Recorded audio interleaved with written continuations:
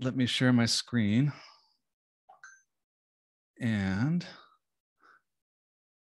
tell you about what we're going to get into today. So, this meetup is all about how we as superset users can use GPT and related products and technologies and making our daily lives a little better uh, or easier and kind of where this is all leading us uh, not just you know people of the world playing with a shiny new toy but what can we do in our actual work with it? Uh, so i'll go ahead and introduce our panelists today uh, very briefly.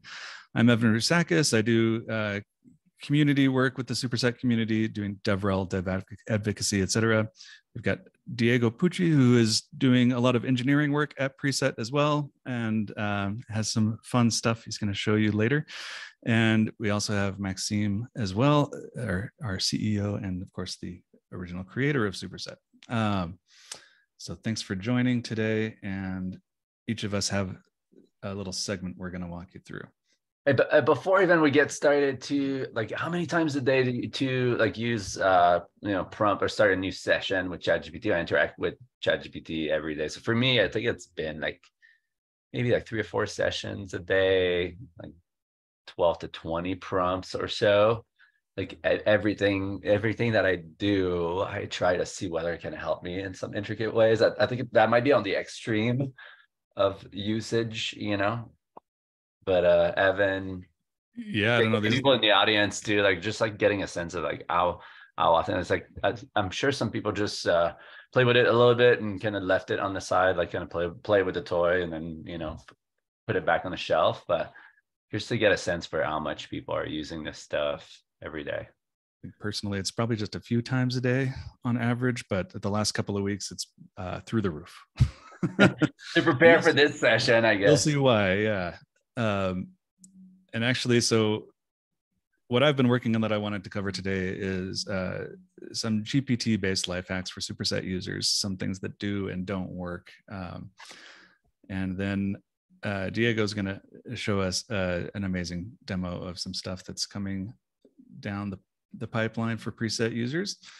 And Max is going to kind of give us some additional thoughts on other applications and uh, some future use cases for this technology.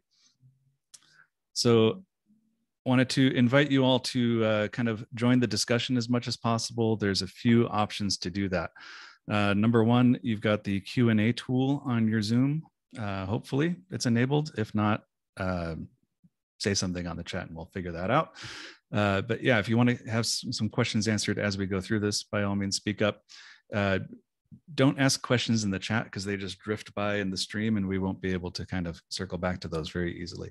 If you have questions you want to go deeper on or want to discuss asynchronously, like they're not important right now, then please join us on Slack. Um, there's a link for that and I've created a channel for this specific meetup. Uh, so here is the link to that as well as a link to a GitHub discussion. So we've got a lot of ideas we're going to be talking about today, and you might have some of your own that are worthy of further documentation, experimentation, productization. So let us know what you think is going to be an important use case, and we'll uh, you can vote on these things. All right. Uh, so just published a blog, uh, and I want you to guys to check that out. It's a fairly lengthy blog. Pardon me. Uh, I was going to try to copy paste that link, but that doesn't work. Uh, so yeah, uh, check it out. It's a short URL, but this goes through a lot of what we're going to cover today in much greater depth. Um, so with the examples, you can copy paste and things like that.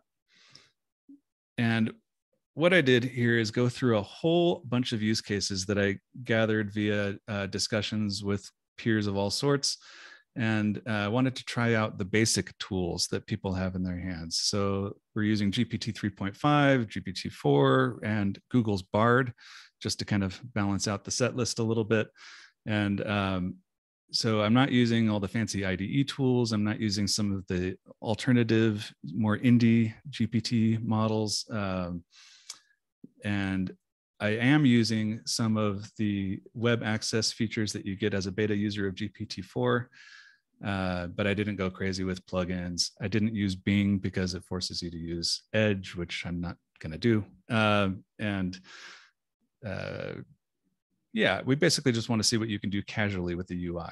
I, I just got access to the web plugin. I think that was sometime last week, and it doesn't work. So at least for me, and I've seen the reports too on Twitter and anecdotal on on Reddit, Twitter that you know you look at this thing go and it's it, it adds a little widget that says you know querying the web clicking on the site loading a web page but then i get a lot of failure messages i think it's like stuff doesn't fit in the in in the context the prompt window or something like that but i get just like a lot of error messages when trying to use that so yeah, that, yeah that's finding, anecdotal but I'm finding that with a lot of the solutions uh, but and it, it kind of handles that in weird ways that we might cover uh, but so for, I'm going to breeze through a lot of the uh, experiments that I've tried, and I encourage you to try them as well. But I very subjectively rated each of them on what I consider a hope scale. Like, is this something that's just a pure fail that's wasting my time, or is it something that's really going to change my life and I'm going to start doing this every day? They're usually somewhere in the middle, but uh, hopefully that scale kind of helps. So I had to start with the big one. Uh, which is using natural language to build SQL queries.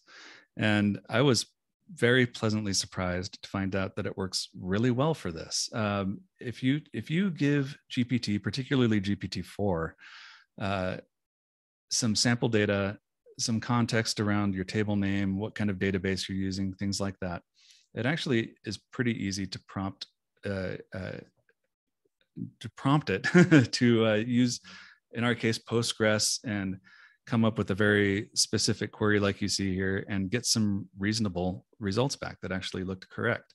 Uh, so in this example, I gave it a specific question and it came back explaining the CTEs it was using to generate and all of that.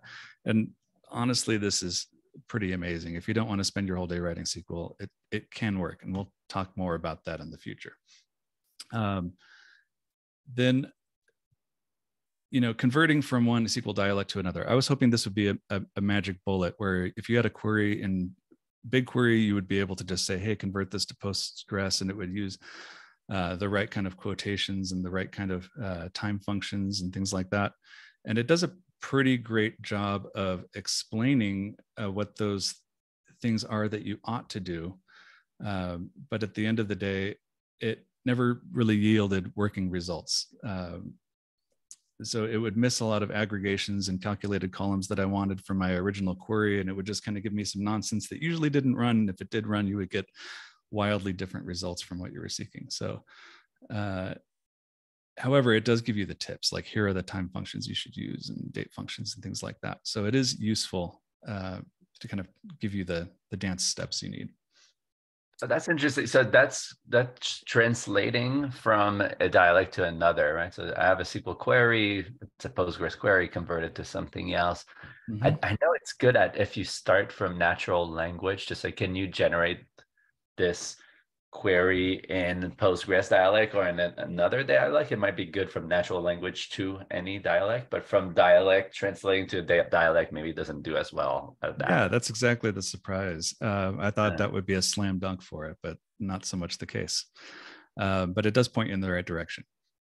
And then, um, yeah, you trying to do auto correction. Um, so in this case, you know, we we we know that everybody is typing queries you screw something up it's usually a comma or something very trivial and uh, you know you get this error and you need to you need to troubleshoot it. So what if we could use gpt to kind of auto correct bad syntax? Uh, turns out it doesn't actually work that great. Um, it does tell you again it tells you about what you ought to fix but it does a bad job of actually doing it and give you giving you a running query back it, it tends to overcorrect and cut chunks out of your query and do weird stuff like that, trying to optimize it and thus breaking it has been my experience. But it does, again, point you in the right direction with its text. Curious on the methodology on this one. Did you ask it, did you pass the error message along with the query or just here's a query, there's something around with it, go guess what it is? Yeah, that's actually the the next one. Um, uh-huh. So I should have put them in that order now that you mention it. But uh,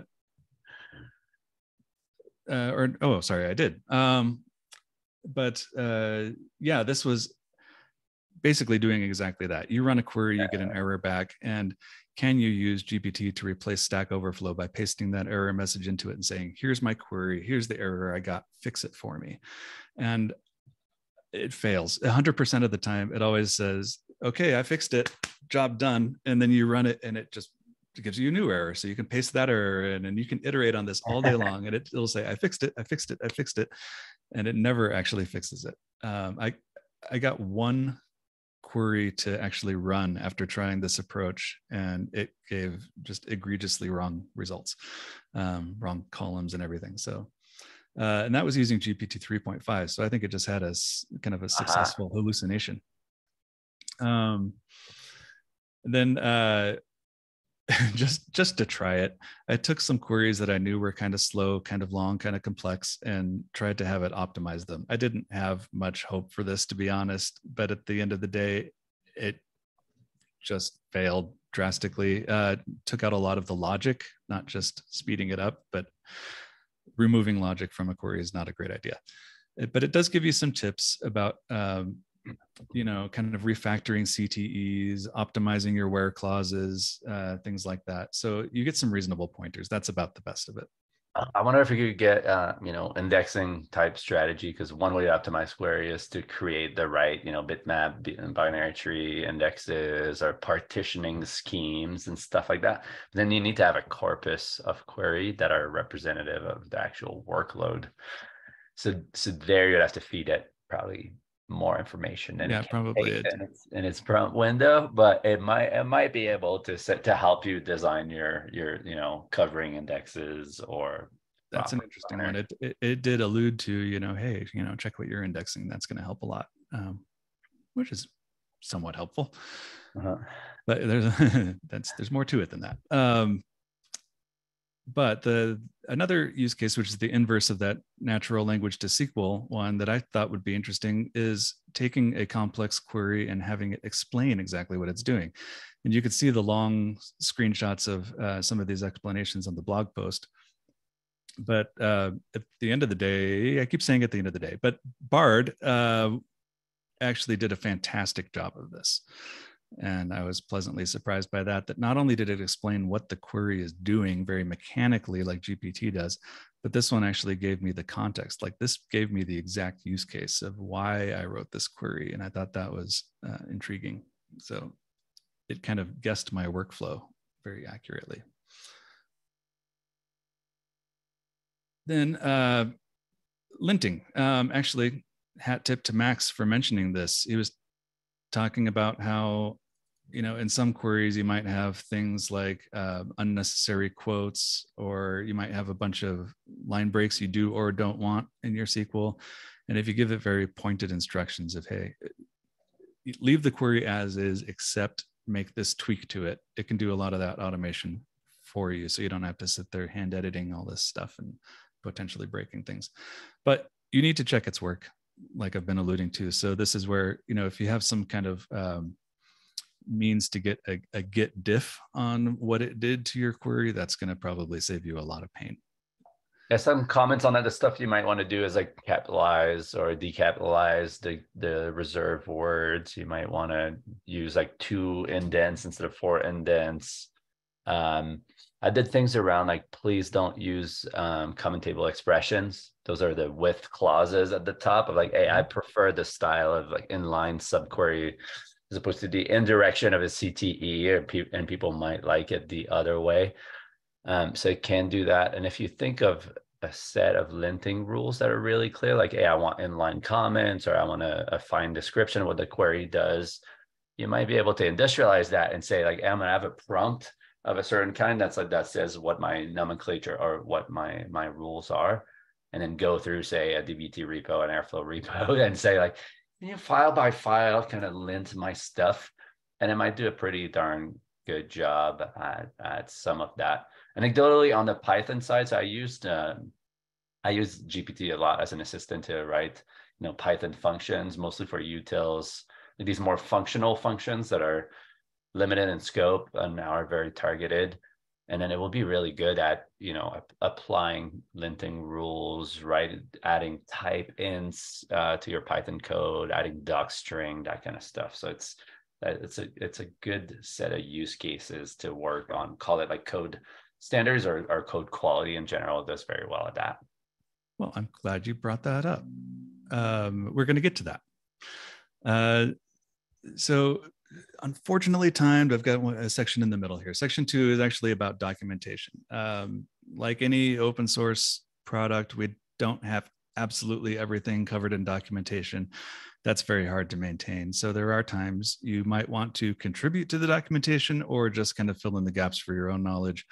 Uh, so I just tried a few of the use cases we hear a lot about on the community Slack.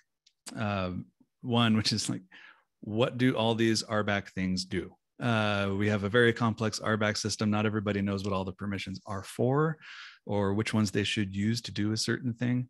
So I tried to use GPT-4 with web access, hoping that it would, you know, know all the latest bits of documentation and all of that. Uh, but it basically hallucinated a bunch of things, and uh, you know, among the small handful of truths were a bunch of non-truths, and that's when you're playing with something like this, it's not just wrong, it's dangerously wrong. Like if you, you could screw something up in your world of security by doing the wrong thing here. So don't. Um, then uh, feature flags, similar thing. People always want to know what these do. And if you ask it to just kind of tell you what's going on with superset feature flags, what what's what's new, what are some important ones that I should configure, then again, you're going to get a little bit of truth, a little bit of lies, and some stuff that's in the middle that's kind of right. Um, very everything sounds very reasonable and it's very confidently wrong, which is annoying. Uh, so I, I did want to give a plus one to Bard here, which is why it's not a two, but a three on the hope scale. That Bard was able to actually tell me about a relatively recent flag, generic chart axes, and like what that flag is for. And it explained very well uh, about categorical axes and things like that. There's like a core limitation, you know, to to these to these tools, specifically like Chat GPT and the, the GPT models, is that um, it's trained with a corpus that was prepared and fixed as of, I believe, fall of 2021 too.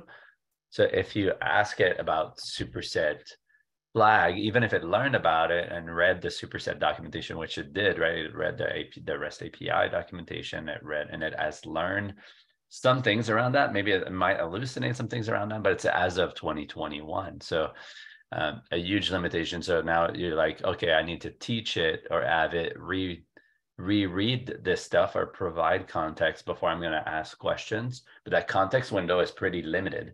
So yeah. the combo of like, I don't know anything since 2000 that happened since, you know, 2022 roughly. And um, and my context window of what you can tell me before asking me a question is about like 2000 4000 you know, 8000 tokens depending on what, which model you're using at a point in time you know is a pretty big limitation even like prepping that context window like i'm going to squeeze in what i think is the relevant part of the superset documentation before i ask you a question about it um, become becomes kind of kind of difficult and hard and the web plugin doesn't work super well and also a lot of hits there on, on the negative front. Bard seemed to be much more up to date, right? So if you ask it, like, when's the last time you read the doc, the superset documentation? Um, it's it's more recent. So Google is better at continuously training the same way they're probably good at continuously indexing the internet. You know? Yeah, and I, I, I was I was kind of hoping that in the case of GPT, since it was trained a couple years ago, that I would get a more truthful picture around that snapshot in time so with some of these feature flags that it said existed, I had to kind of do a little fact checking and look at the the Git history and say like, okay, was this a feature flag at some point that just doesn't exist today? And no, they're they're made up. Was that three five or four? Because like three five is notorious for hallucinating that kind of stuff. But both, um, both do both, both, both of them hallucinated. Yeah, it's like one on one is on the edge of their knowledge. You know, it just tends to hallucinate, which is very dangerous. It looks as you said, it looks very reasonable. Like the feature flags that will make up are feature flags that could very well exist in superset. They seem credible. Yeah, uh, they are not.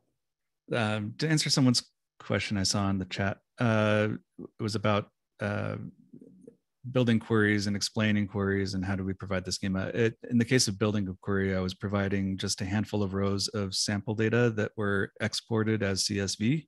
So just basically do a, um, you know, a select star and you can kind of copy paste a handful of rows into it. And that's enough to kind of seed it. Uh, as far as explaining the the query, I didn't give it any data, just gave it a big query and it kind of sussed it out. Um, but yeah, it does not know, right? So, so that's another thing is like it doesn't know about non-public information. So you have to put that into the prompt or the windows. If you wanted to generate SQL on, on a certain schema, you have to provide, you know, the create table statement or some form of documentation of what are the table names, what are the column names, what are the data types. So the data types are probably not as important and what is maybe some column level statistics, uh, things like either through sample data or a histogram of the kind of value uh, that you might find in in these uh, these tables. And that's when when you provide all that context, that's when it does well at um, writing SQL. Yep. And uh, one last thing from this section is about writing Markdown. Uh, as a superset user, you might want to contribute to documentation. You might want to use the one of the text widgets in your dashboard and to do so, you you might have some text that you would like nicely formatted or have some little links inserted, things like that. Turn this list of things into bullets, all that kind of tedium. It's actually pretty great at. Uh, so, it, you know, give that a whirl. The one thing shortcoming of this though is it doesn't yet accept rich text. That would be amazing if you could paste a block in and it's got bold words, italic words, links, things like that, and it just converted that, but it it doesn't yet. Uh, if anybody hears about that being released, let me know. I'd be excited. Okay, I'll try to go fast because we're I want to pass the mic. Uh, but developer tooling, um, fixing flaky Cypress tests. It's a big problem on Superset that our CI has to get restarted all the time because a lot of our tests are flaky. So I, it it basically provided a lot of theories as to why these things are flaky. It tried to fix them, but at the end, the test failed, so it didn't work um, but it gives you some some useful tips in terms of uh, waiting for things and uh, stuff like that. I opened a couple of PRs on this if anybody wants to actually look closer at that code. Same thing with speeding up tests. We have a couple of tests that take about a minute and a half to run, for example. Uh, and it gave feedback on parallelizing things, adding fixtures, uh, but it fails. Uh, the tests it writes are actually not working. So you know you probably want to write your own uh, code but it does give you some directions to try out. Uh, reviewing prs it did really great uh, particularly gpt-4 with web access. I was surprised by this that if you if you point it out to a particular pr it will look at the code it'll look for tests it'll look for security issues it'll give you useful feedback on like does it match does the code match the description on the pr things like that. And that was super cool. Uh, there's one example I linked to in the blog of doing this, and in the end, the the PR review says just merge it, but we didn't because it doesn't have the context around the bigger issue it was trying to solve in Superset. That's a little more uh, wide in scope. So the the approach the PR took was not the right one, and it's being refactored. But still, as far as the code goes, it did a really good job of just kind of reviewing it. Uh, oh, and then that's the web plugin browser working well too. Yes, yes. so that's that. That was pretty cool. Uh, then yeah, making API calls. If you want to use Superset's API layer in whatever language you're using for whatever the heck you're building, it does an okay job of scaffolding up an API call, but it doesn't know how to use the API. It can't read our documentation because it's rendered by the browser. Uh, it can't read the JSON file that's our Swagger schema. Um, it just doesn't know how to parse JSON at all. So it really doesn't know anything about our API, and it says just insert a bunch of you know body here for your requests, and uh, that's not that helpful. I would rather just go to Stack Overflow for that. Uh, similar thing with converting JavaScript to TypeScript. It doesn't have all the context it needs. Uh, it creates all sorts of unused types and uh, undefined things and linting errors. And you know, you'd probably be better off just doing this yourself. Um, and then uh, creating tests for components, it did okay. It created some basic sanity checks like does this component explode? If i throw this prop at it does it explode? But it doesn't really go deep on testing the functionality of any component. And uh, you know it, it falters a bit on import paths and linting and typescript errors and things like that. And it can fix some of those typescript errors actually. But uh, it doesn't know about supersets theme so these tests crash. And uh, it creates assertions around non-existent dom selectors that it just kind of dreamed up uh, and it doesn't always know what the component is really supposed to do, like what its purpose is. It, it looks at the code a little bit and guesses, but um, yeah. um, uh, somebody's saying it did write the code for an API task. That's great. I would love to hear about that on the GitHub discussion. I, will paste a link to that again later. Um, then yeah, auto-generating doc strings. Max alluded to this one, and this works really well it actually looks at the code and tells you you know what you put in what you get out and gives a little bit of context and that's pretty cool. So there's a pr open for this. I guess the downside is again somebody needs to fact check it fact check it. I don't know if it's dreaming this stuff up. I didn't look at it that closely. So it's kind of like you have to review all the code again and the other question is, does this really, really help? Because if we did this for the whole code base, it's going to just inflate the code base quite a bit. And I worry about our signal to noise ratio in there. Um, so jury's out. Love to hear some opinions. Well, if anything can be generated on the fly, should it live in a code repository, right? So it's a little bit like, you know, if a tree falls in a forest, but, but, right. Like, cause then, cause then it's just, you know, if your IDE could you know um, generate documentation on the fly or provide this context on the fly then let's just not put that in a code repo and inflate the code base and have some that something to maintain and manage right? True true. So yeah i didn't try things like copilot and all of that too much. Um, there's probably a lot more to talk about there uh, then last but not least, searching for relevant issues. This is we have a lot of issues, and whether you're trying to open a new issue or considering open, opening one, or you're writing a PR that may address some issues on the repo, I was hoping this would be a better search tool, particularly with the web browsing of GPT-4 turned on or Bard's more you know up to date context. But uh, it didn't work at all. I got a couple of ancient links that were actually closed when I asked for open ones, and uh, I got some very badly torn up documentation, and uh, it, I, it, was just a fail. Um, then I'm not going to go into this stuff too much, but these are just things that I think have a bright future if we got a little deeper and started playing around with APIs and so forth, uh, or prompt engineering and kind of tuning the model, things like that. So I hope that we can one day give a bit of sample data and say, I want a pie chart. Here's the form data schema for a pie chart. So you can kind of pre-populate the controls for me and then get that back in a working state. I think that would be really cool. Organizing content using the front end and back end tagging systems that we now have in Superset as a feature flag. It would be really cool if it took your data sets, your charts, your dashboards, and just kind of looked at them and said, this should have these tags. So you could actually navigate your content more automatically. Uh, content descriptions similar sort of thing but instead of tagging actually kind of text-based descriptions of what's going on with a chart or a data set or a, a, dashboard. And those could be used for all sorts of things like sending sms messages tweets emails slack messages things like that to tell you what's going on without having to have you interpret the, the visualizations. And then advanced types. This is another feature behind a feature flag where we it kind of extends the semantic layer to say this column is an IP address in one format, and in another table, you've got an IP address in a different format, but they're both IP addresses and it annotates them that way. I would imagine this would do a great job of looking at uh, the schema of your database and kind of annotating those things for you. So those relationships are created automatically. There's probably a lot more of these. So I'd love to hear about all of that. The TLDR of all this stuff, now that I've run, run through a bajillion use cases, is I have trust issues these things aren't good at everything. They suck at math, uh, for example. And like I said, they tend to be compulsive liars. Um, when asked something, they'll always give you an answer. They'll tell you what's correct, and they'll even make up references. If you ask for references, it'll create web links that sound very realistic but never actually existed. Uh, and you know, it'll send you on a fool's errand if you believe this stuff you'll wind up trying to fix a PR or you'll wind, wind up trying to patch some documentation and spend all this time fact checking when you could have just done it yourself and saved time.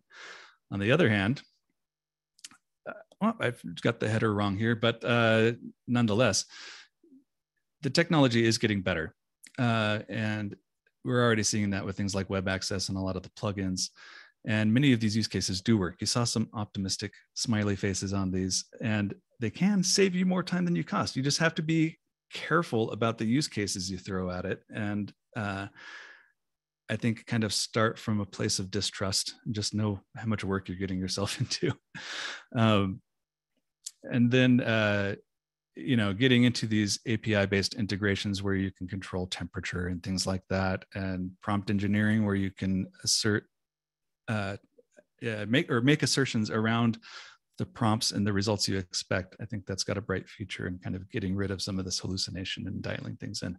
Uh, so with that, I'll, I'll, to... I'll, say a comment or two. One, one thing is interesting to see a take that is not like 100% bullish on AI, you know, so it's refreshing to see something that's more critical of AI. I think it's interesting to look at in different areas with different fields um, uh, looking at experts and what they think of putting this thing to test, right? To, to ask, say, a dentist, an expert dentist, like what their interaction around dentistry, you know, working with um, AI has been like, or a paleontolog, or a, you know, take different experts and see how it's doing at things. One thing that's really clear to me is like you should use it as an assistant, right? You are the expert. You know SQL, you know your database schema, you know the code you're trying to write. You have the context of the project you're working on. Like you have a lot more context. Hopefully you have more expertise. And it's just like a great assistant that works very quickly and well with you. And you need to you know figure out what it's good at what it's not good at and use it in that fashion. So i think we're still in that phase where we are the professor and they are the assistant. Uh, maybe that flips and uh, in a few weeks in a few months in a few years where it is the professor and you're the assistant, then we should worry about other things at that point. But uh, use it in that way is probably one advice here. I think so. I hope so. It's still very early in this game, and I'm still very bullish on all of this. Um, but uh, in the interest of time, I want to hand it over to Diego, who's going to show us a little bit of magical integration work. Take it away. Hi, everyone. So I'm excited to show, to show you today how we're using AI in preset and specifically how we're using AI to generate SQL from, from natural language.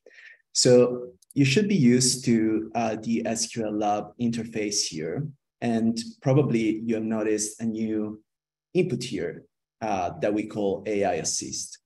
So the way it works is that you have to select the table or the tables that you think might be relevant for the query that you want to run.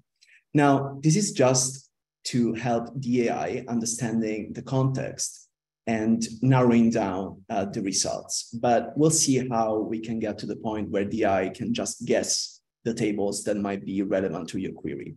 So let's, let's start with a very simple one that I have it here.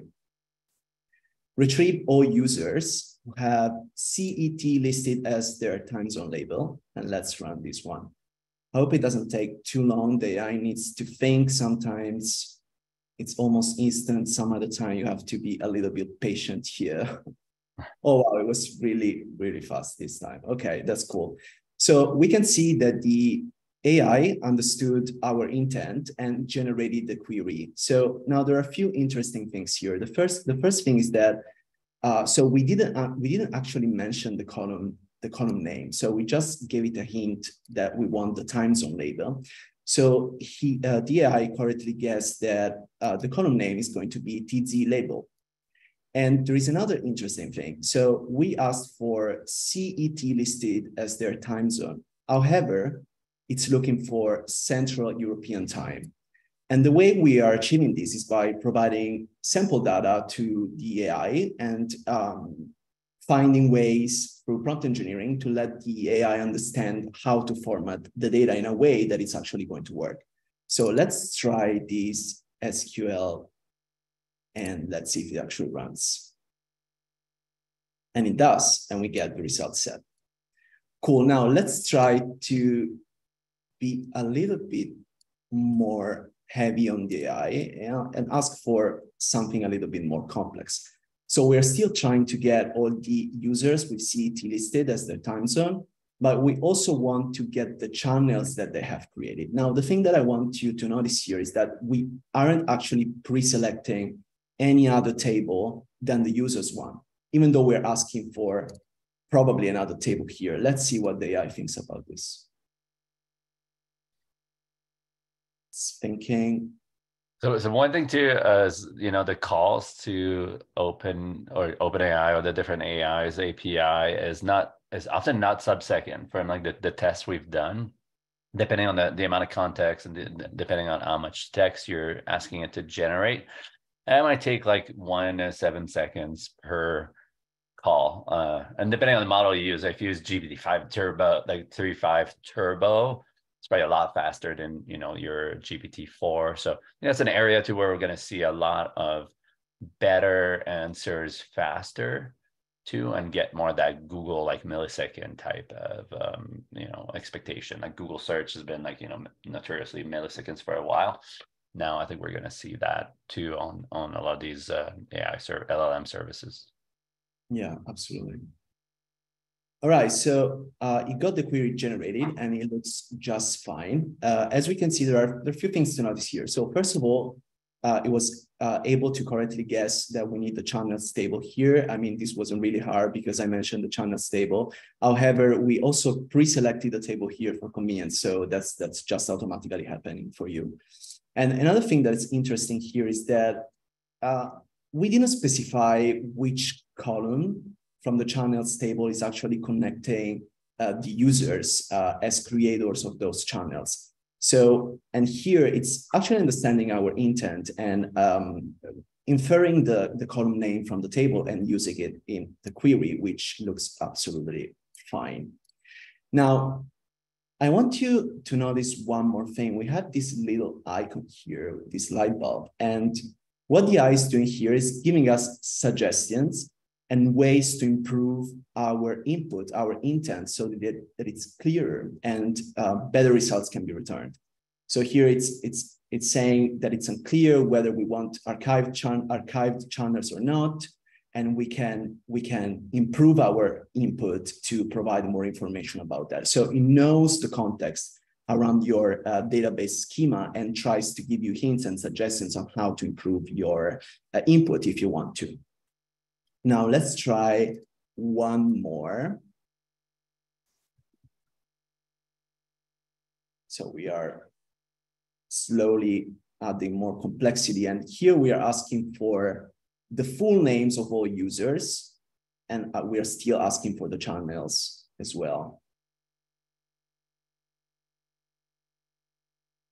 And while, while this while this things too, you know, if you think about the the design of, of this feature, like it's very step by step in some ways where we show so there's your prompt, then we show you the SQL, we show you the tables that you've that have been used for context, and we let you run the selection what was generated, right? And I, I think that ties to Evan's um, kind of mistrust or not not like blind uh, something short of like blind trust. Because you could just ask a question tell you know tell me how how my sales are doing uh in the world uh right now or how my company is doing and runs a bunch of SQL and tells you your company is doing great or that the answer is 6.5 percent uh and you probably wouldn't trust that. So I think I think in terms of UX it does make sense for us to show you the SQL show you the table, let you run it, look at the result set and put that in context. I think as our confidence, you know, grows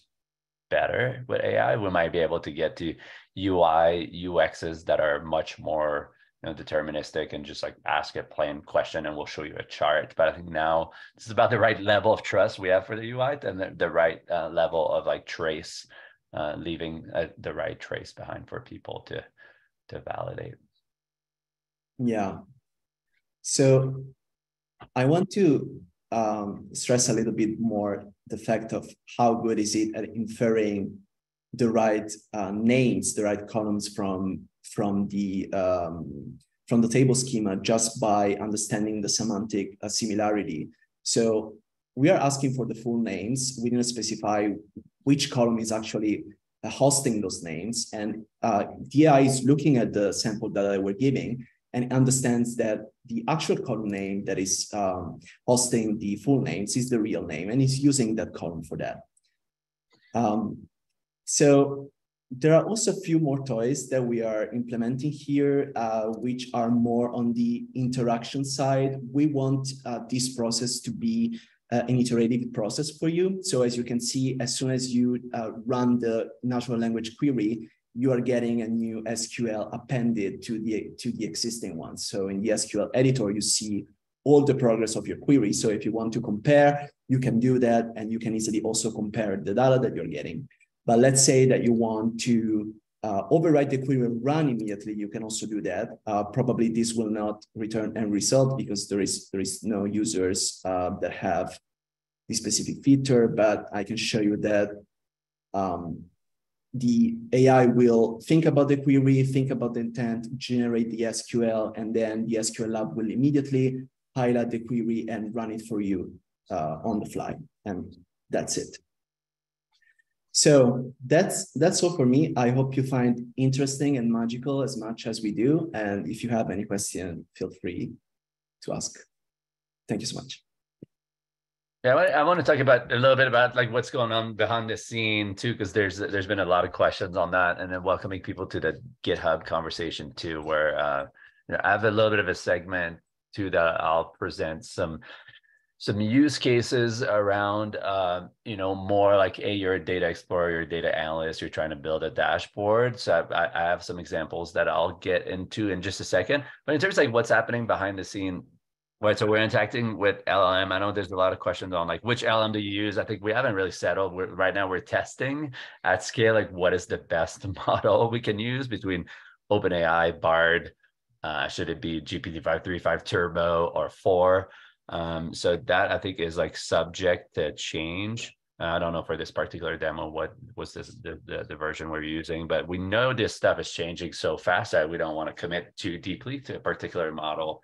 Um, some of what's interesting of what's happening behind the scene is what we call what i call prompt uh, what i guess the industry the industry is getting to call prompt engineering right? So that means we pass what's happening in prompt engineering is we craft a message right? So the message one thing that's really important about the message is what was in that top bar that diego was, was showing. Now there's much more that goes into it you know where like we say things like hey, you're an ai that's an expert at sql um, that is looking to answer the following question. Now, here's the current context of the database you're on. So first say it's a BigQuery database. We're going to have to speak in this specific dialect. Um, now, here's some tables that the users thought um, have in context right now. And here's some more tables from the schema that's currently selected.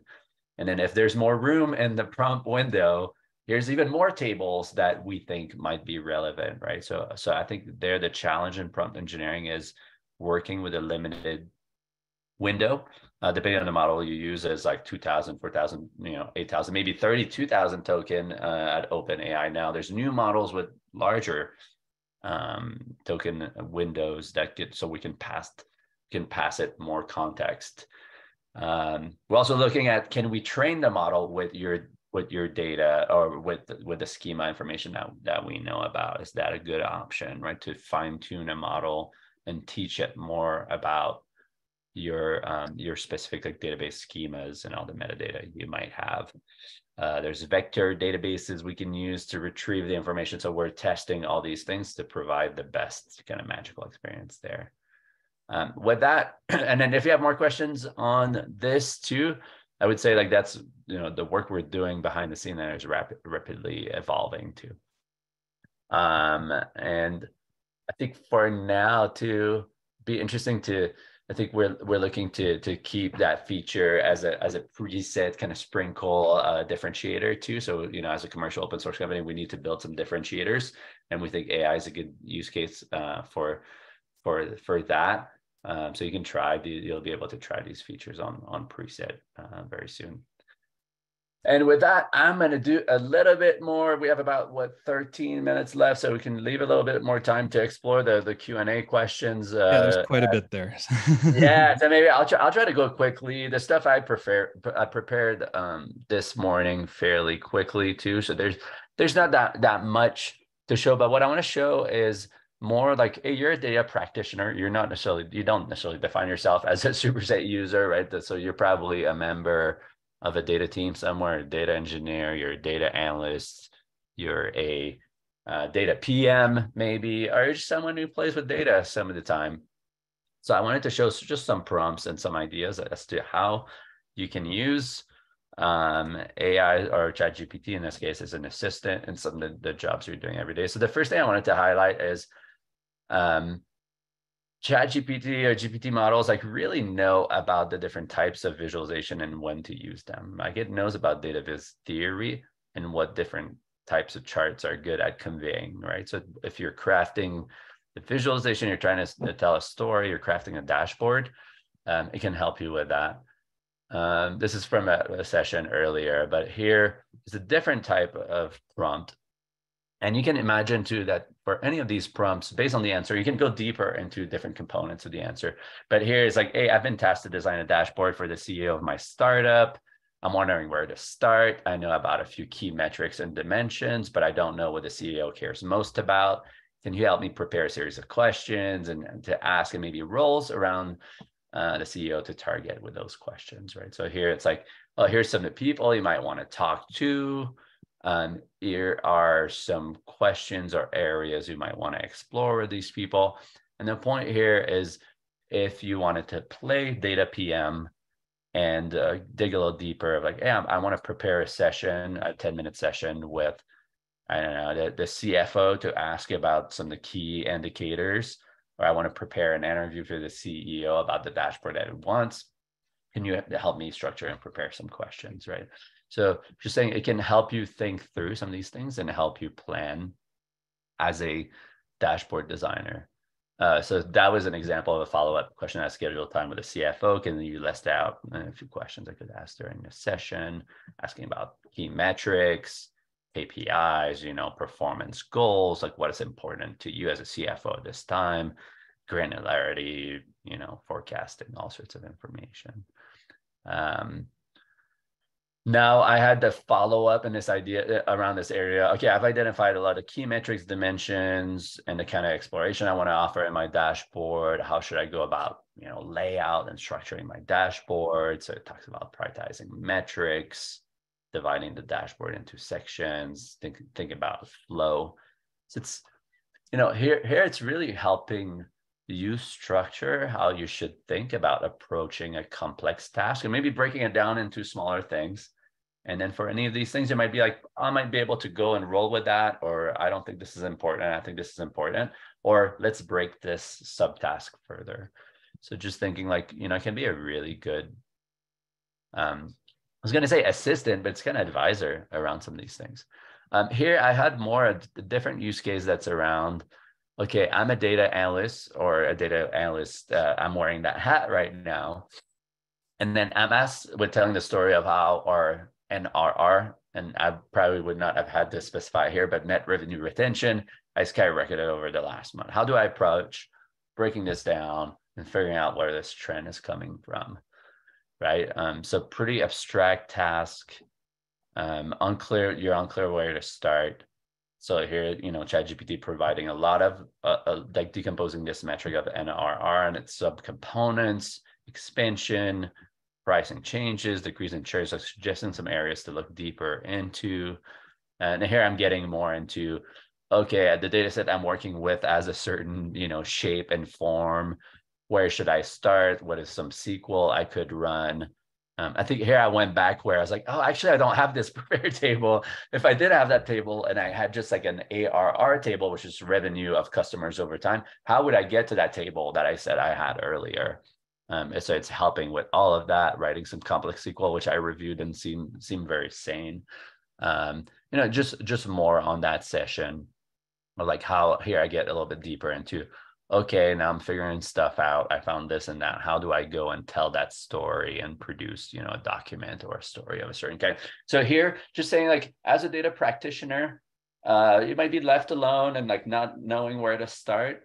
Like having an advisor, an assistant, or someone to go back and forth with ideas, and then you know, seem like a really good think and on the meta side um, maybe as a last thought there is like really often people will you know come up and ask a very simple prompt of like hey can you help me figure out why you know this metric is going up? And then it says something that interesting. You might just give up and be like okay i'm on my own. This was not that helpful. But i encourage people to go and just ask deeper. It's like hey you said this this is right. This was useful. This other stuff you said was not useful at all. Uh, let me provide a little bit more context. Can you help me now? And then generally like take it from there and like keep the conversation going. And um, you're very likely to have you know some help some ideas unblock yourself in, in really good ways. Right. Thank you. Appreciate the perspective. Um, so we've got a lot of questions too many questions for the seven minutes we have left. Uh, so i just want to reiterate that uh, on the superset community slack uh, there is a channel called meetup gpt you can feel free to start some threads there if you have some questions you want to get to that don't get addressed here. Uh, there's also even on that channel there's a link to the github discussion where if you have more ideas of things to try uh, experiments you'd like to see run put them there and we're, we're happy to keep diving into this uh, we're as excited as anyone so some quick questions. One was what version of GPT did I use in the examples? And the answer was basically 3.5 and 4, um, just going back and forth to kind of see how they differed. I was trying to use them and Bard in most cases. Uh, and on a related note, somebody asks if we're if we've tried Perplexity. I have not. I don't know if either of you guys have, but I'm not sure what it is. That's the perfect thing to drop in the GitHub discussion, and we absolutely will. Um, and then yeah i don't know if maybe there's a future in which you you create a prompt and you send it to all of these different tools and just shotgun the ecosystem and see what you get back. That'd be an interesting and you ask them what they think about each other. It's like okay can you tell me of the the answers that are not yours which one you preferred uh, some sort of like consensus uh, yeah uh, then uh, one person said that they actually got the api um, prompt to behave and generate some actual request headers and, and so forth. That's fantastic. I was not able to. Maybe it depends on the complexity of the endpoint. Maybe it depends on the how completionist the documentation out there in the world as of a certain time frame was. I don't know but i'll i'll kick the tires some more on that again these hope ratings are my subjective opinion and uh, i would love to get more hot tips on how to dial this stuff in because it'll help me out a lot, I assure you. Well, here's here's a thought too. It's like we've been writing documentations for users forever, right? But I think like writing documentations for AI is really great now. So that so that you, you know maybe the driver, the real reason why we write documentation now so that AI can pick it up, and then we can have a conversation and uh, go back and forth and much more directed flow to answer more direct questions from the the documentation. Yeah, how would we write differently if we were writing for these to parse? What is the machine language for? I, th- I think it's the I think it's the same, which is good the beauty, right? So, so it's just like now the incentive to write documentation is to teach the user, but also the AI in the same way, and then the user can go to the documentation, but it's more likely to go to a chatbot that can, you know, make sense of things and point in the right place. Yeah. Um, we've got a question around when the first, uh, you know, AI assist version might hit the streets. I don't think we're ready to shoot ourselves in the foot with the date, but uh, we're working on it. This is a sneak preview. This is the first time the world's seen it, so give us. Yeah, if you, if you want to be an early adopter, I think we'll probably have like real beta soon. You know, so if you're a preset user, just send your email address. We can add you to the list. We should have a wait list like page where people can just say like, oh, can I be an early adopter? The same way that all the AI tools do now, where like, oh, can I be uh, on the wait list for plugins and for you know the different um, AI features? Right. And we've got a lot of questions about is this going to be available in open source? And the answer is basically no, this is going to be a preset feature. Um, but but you can, but it's but open source is open source, right? So anyone Yeah. is welcome to go and and contribute it. The part of the reason why you know we're not contributing back to open source too is a lot of stuff is very unsettled and it's going to change very quickly, right? So if you make a choice to, I don't know, tightly couple, use I don't know, LangChain and couple with a certain uh, with open AI, um, it could be that you know a month from now, Bard's a much better choice, or there's a, a you know some open source model with completely different approach. So if it felt to us that we're working on unsettled grounds, and and you know to con- contribute to open source is very likely that people will start using stuff a certain way, and it'd be difficult to um, to upgrade or change things because it's it might be better or worse in intricate ways too. Yeah. So too unsettled to contribute in a permanent kind of way to to superset, but we certainly would not you know prevent people from contributing that direction if they, they have a plan and there's consensus in the community too. I would also wager that anyone that contributes a feature like this to the open source core is, is going to find a lot of things are controversial. Um, how we implement it, what we do with it is going to have different implications for people's businesses and all sorts of things. So this gives us an opportunity to to move quickly in the way that we're opinionated about, um, where other people may have different opinions. And when you do that in open source, it becomes a very large. A, a thing we haven't talked about too. So like this is like just one take on bringing AI to a data tool, right? And in this case, like SQL generation. But like I think there's a really interesting, maybe that's for a follow-up podcast of like how are other ways that we could bring AI into into superset or data workflows in general. And I think like one that we've talked about um, at preset and in the community too is like a chart suggestion engine or a dashboard, you know, auto magic uh, dashboard generation type tool. Hey, I have, I have a data set, or I have a result set of some some kind. I'd like to, to get some chart suggestion uh, suggested too. Um, there's the also like you know the use case of I'd like to have a conversation with a chatbot about my data, right? you know, and then for the the chatbot to be able to generate visualization, generate SQL, run it, uh, present you with things, and to have this this more direct conversation. Those are like um, probably in, in many ways like more more useful too than a SQL generation you know tool or bot um, and, and things that you know would be really interesting to to to, to contribute to to superset or to add into preset.